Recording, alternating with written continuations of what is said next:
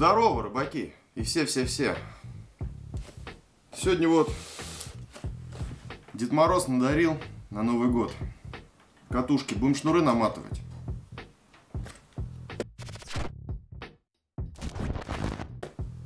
А, забыл кое-что. Забыл газету.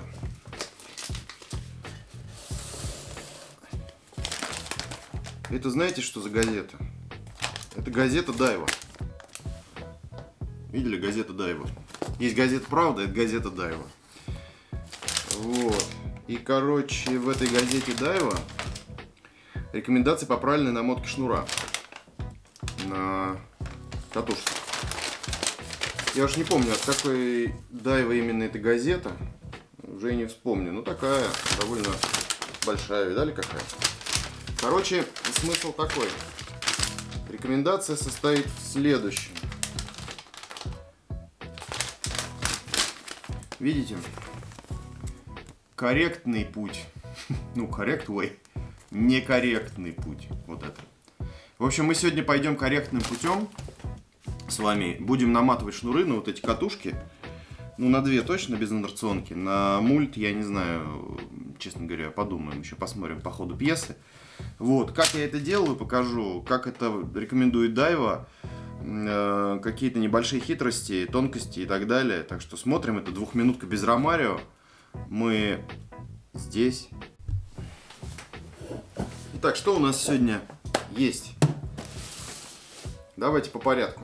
Значит, вкладываем пока. Ну, в общем, шнуры. Это шнуры. Две лески для бэкинга а, так как катушки у нас для ну, такого бортового фидера, и может быть одну из них я буду использовать в обычном фидере береговом, а шпули у фидерных катушек, сейчас я покажу, они довольно глубокие, поэтому без бэкинга не обойтись. Для бэкинга я взял совершенно простую, дешевую, самую вообще какая есть дешевая леску.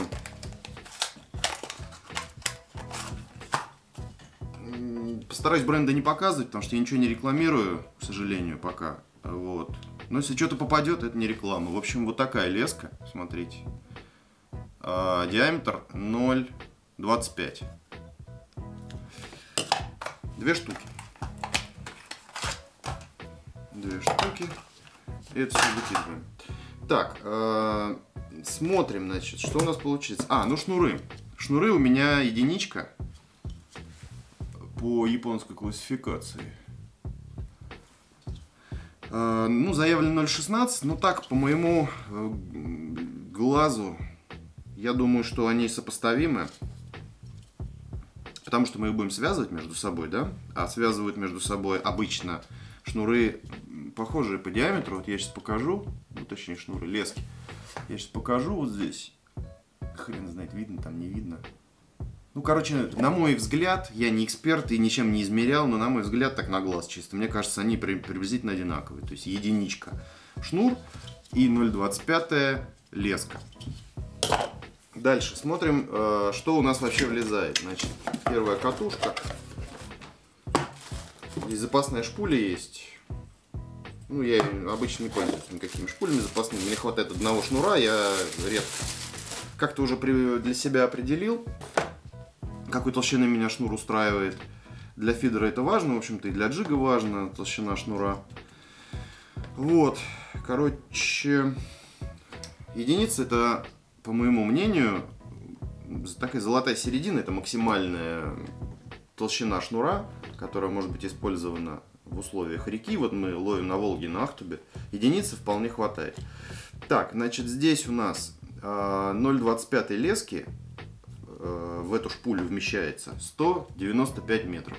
Вот, 195 метров. Сейчас покажу. Вот написано. Да? Видно? Видно. 195 метров. То есть, по идее, у нас 100 метров влезет бэкинга и 100 метров влезет шнура. Если здесь, конечно, 100 метров. Это не какой-то там супер крутой фирменный шнур.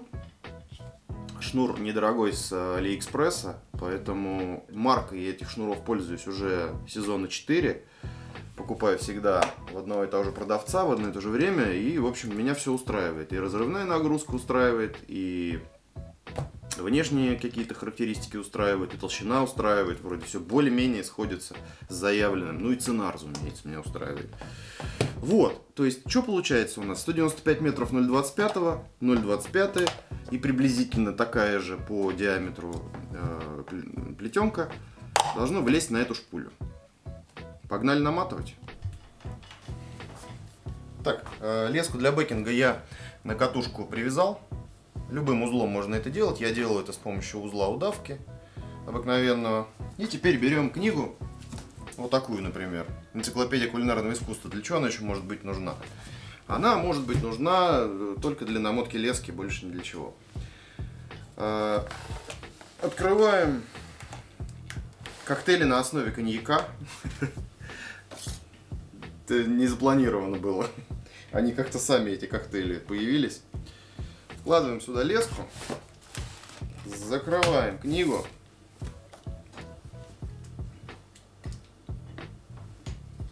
Закрываем книгу.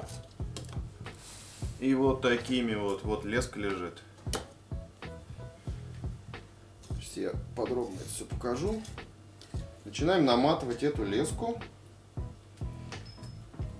на шпулю. Единственное пожелание здесь такое, чтобы узел с помощью которого вы привязываете леску к э, шпуле, сдвигался, ну вы его должны сдвинуть перед тем, как наматывать, как к одному из краев, чтобы у вас какой-то шишки не образовалось и так далее. Я вот к переднему краю ее сдвигаю, потому что у меня какая-то шпуля с конусом. Не знаю. Все, и мотаем таким образом. И мотаем.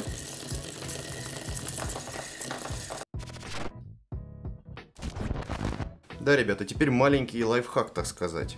Короче, перед тем, как наматывать шнур, нужно обезопасить э, себя от петель, которые могут образоваться на катушке, и потом которые могут сбрасываться и образовывать бороды при забросе. Поэтому, что для этого надо сделать? Вот эти части на шпуле, вот эти вот места, шероховатости вот эти, вот эти выемки, нужно заклеить скотчем аккуратно чтобы при намотке будет вращаться очень быстро бобина, леска сюда не попадала, не останавливала движение, не заклинивала, и тем самым не образовывались на катушке петли. Шнур и бэкинг связываем между собой узлом кровные узы. Так, берем таз какой-нибудь, у меня красный, например, наливаем в него воду. Э, воду в таком количестве, чтобы шпуля полностью туда погрузилась вертикально, то есть на торец. Важно, чтобы шпуля стояла вот в таком положении.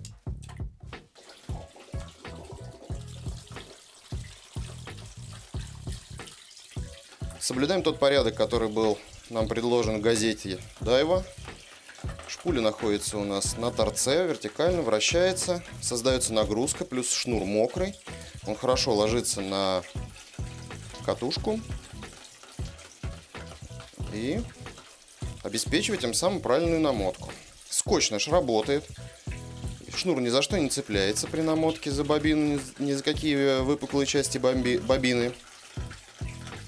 Все происходит гладко и правильно. Таким вот образом, ровно-неровно, много или мало. Не знаю, сейчас я сверху поставлю бэкинг и домотаю до конца бортика, как положено, там пару-тройку миллиметров. Домотаю и сделаю в обратном порядке все манипуляции, чтобы на ту шпулю, которую мне нужно, намотать все леской вверх, бэкингом вниз. Так, намотка первый, первого шнура на первую катушку завершена. Таким вот образом это выглядит. Может быть не самая ровная намотка в мире. Вот. Ну, катушки бюджетные, поэтому ждать от них каких-то сверхъестественных э, результатов не приходится. Э, таким же образом я буду наматывать э, шнур на вторую катушку. Там чуть посложнее оказалось, там немножко задача усложняется, потому что backing ложится неровно, ввиду того, что у шпули обратный конус конструктив такой. Вот. Ну, а повторюсь, катушки бюджетные, ждать от них сверхъестественных результатов не приходится, поэтому backing придется намотать вручную а, ровненько, и затем уже шнур поверх backing'а ляжет как надо.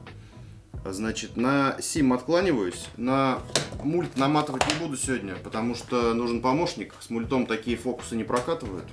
через таз. Вот. За сим откланиваюсь, это была двухминутка без Ромарио. Подписывайтесь на нас, ставьте лайки обязательно. Вы давно не ставили лайки и не подписывались. Мы выходим регулярно, не забывайте про нас, жмите колокольчик. До новых встреч, ни хвоста, ни чешуи, чао!